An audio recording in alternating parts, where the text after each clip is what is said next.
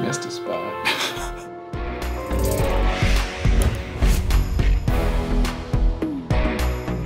so what are these? Okay, so these things that are being lifted out of the skin are an accumulation of the oil from your oil glands as well as dirt, debris, and gunk that just accumulates in them. This has been termed the sebaceous filament. And you'll find this in like old literature going back like 50 years ago. They termed it a sebaceous filament. Now, these are all over the place. People don't like having them. Um, and they always feel like, okay, maybe if I just use a pore strip to take these off, then it will get rid of them. This person really benefited a lot from this pore strip, but you really don't want to get to the point where there's that much buildup. It really is just a collection of these things. These videos can be super satisfying to watch. Let's talk about why oil is actually really important, right? Like our pores are really important. A lot of people don't want pores. They just want to eliminate their pores. But our pores is actually what is going to produce the oils that keep our skin soft and hydrated. So the oils in our skin are made up of multiple things. One of the most abundant things in them is actually triglycerides. Also in them are things like squalene, squalane to a lesser extent, glycerol, which is similar to glycerin and how it acts on our skin. And collectively, these have a lot of protective benefits, and then they also interact with things on our skin skin like the microbiome. Going back to that video, that buildup is probably a little extensive, right? When it gets to that point, you can imagine that if you have that much buildup in your pores, that it's gonna make your pores look larger, right?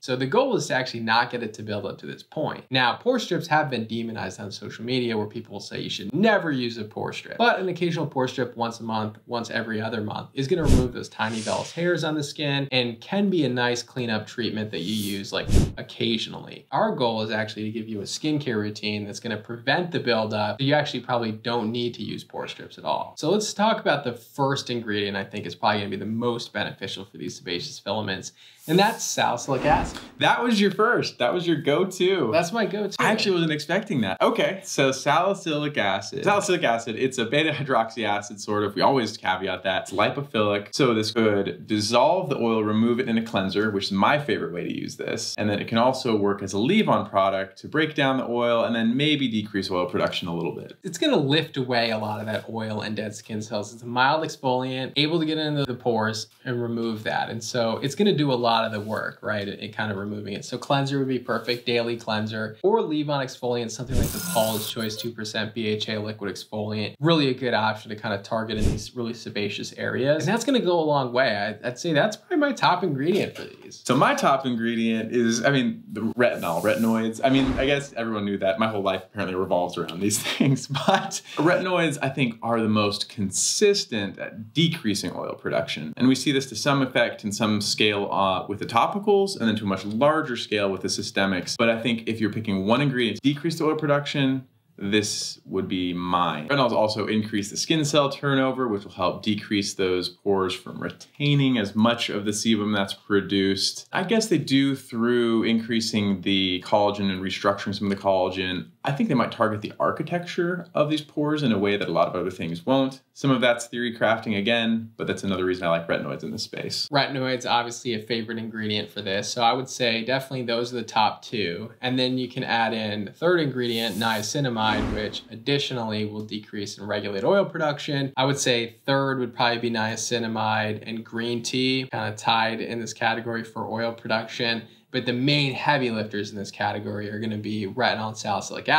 Now, which one's better? I mean, it doesn't matter because you can actually use both. So what I would do is use retinol at night, salicylic acid in the morning, or retinol at night, salicylic acid cleanser either morning or night. So the good thing is you could target from two different directions, and that's going to really reduce the amount of times you have to use pore strips, reduce the buildup of your sebaceous filaments, and additionally make your pores look smaller over time. A nice thing about that third ingredient, niacinamide, is you can incorporate this almost anywhere. There are some cleansers with niacinamide in it. That's probably my least favorite place to use it. I think its benefits stem largely as a leave-on, but you can find this in your actives. You can use a dedicated niacinamide product. You can use it in your moisturizers. You can use it in your SPF, incorporating a salicylic acid cleanser with a retinol or retinoid leave-on with your niacinamide in your moisturizer SPF. That's kind of my favorite combination. And then green tea, some green tea toners out there that are also really lightweight and nice, and then also green tea emulsion gels or emulsion somethings as well. We know the ingredients that are effective. Let's make a simple routine here. So let's start in the morning. Let's start with the CeraVe SA cleanser. It's got a low concentration of salicylic acid, but will help to lift all that oil from the skin and also help to mildly exfoliate and then follow that with a sunscreen that has niacinamide in the morning. There's some great options here. EltaMD, I think, has been one of our favorites and one of the workhorses in the space. It's just like very mattifying. It's just very lightweight, has niacinamide as well. Another one that I've really loved and we've really loved recently is Isntree, which is a brand I think that you should check out. Uh, but this has the hyaluronic acid watery sun gel. It's really more of a lotion. It also has niacinamide, another nice way to sneak it into your routine. And that feels super good on your skin. It's like you're not wearing sunscreen at all, which is really, really nice. That's an entire morning routine. You're getting in that salicylic acid and that niacinamide. Then you go to your night routine, you can slip in that CeraVe SA cleanser again because it's gentle enough to use twice a day. And then you can follow it with a gentle retinol, CeraVe resurfacing retinol. Your prescription tretinoin is going to get that job done. You've been liking this other one lately. Yeah, lately I've just been trying out and using this Versed Gentle Retinol Serum. Um, another super lightweight retinol. Has bakuchiol, so it's kind of like that gel lotion hybrid. I think you could throw in a niacinamide serum there. I think this one here, you keep it inexpensive. Um, the Ordinary's 10% niacinamide 10% may be a little bit too high for niacinamide. Most of the studies, like we've said in the past, have been done at 5%, but I think a lot of people tolerate that one pretty well. So then you would just follow with any gentle moisturizer after that and you'd be good to go. I'll say what I do, I kind of mix in once a week in addition to all this. And I've said this in the past, the ordinary salicylic acid mask I kind of use in this T-zone here to really kind of help clear out those pores. And that's got the 2% salicylic acid, which will give you a little bit of an extra boost so you don't need to use the pore strips as often or at all. Right. And that's kind of the goal is to keep this under control so you're not reactively trying to treat any sort of excessive buildup. So simple sebaceous filament routine. Now you know how to treat it, but just know that we need this oil on our skin to build up. It's actually what's keeping our skin healthy. So don't overdo it. They're there for a reason. All these things have a purpose and that's why they're there. So thank you all so much for tuning in. Please like, comment, and subscribe. Yeah, we appreciate you always. Thank you for being a part of this journey. See you in the next video. See you next time.